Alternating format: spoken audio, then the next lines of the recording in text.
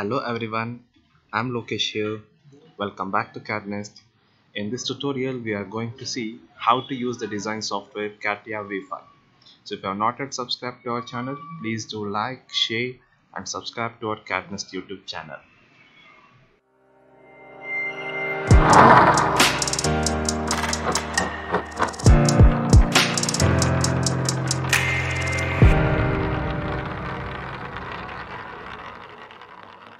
For that, you should open your software first. Here, CATIA, I'll extract this file. Wait for some time.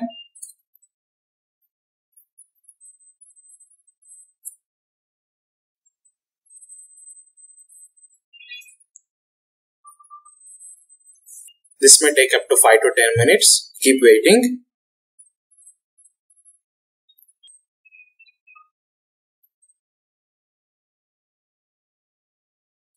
So after extraction of our software, go for the double click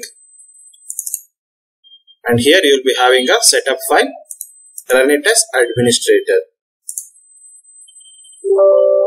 Give it as S, wait for some time.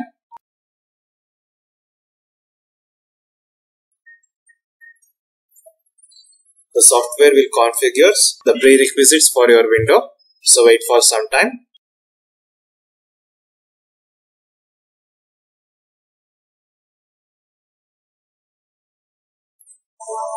After that, you will be getting an installation window. Here, give next, next.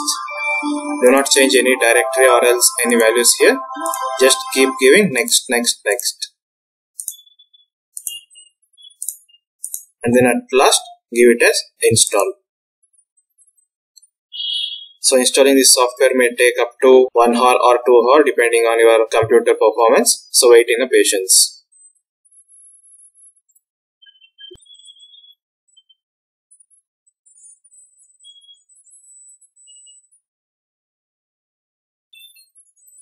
So after the installation is completed, check this uh, check this out and give it as finish.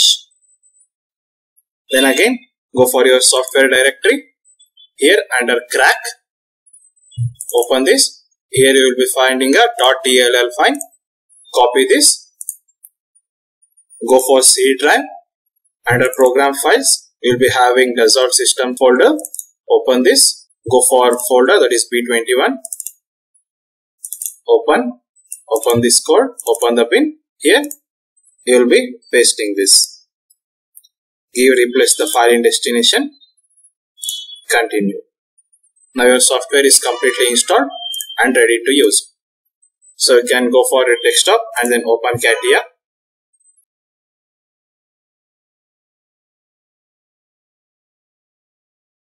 so CATIA is installed successfully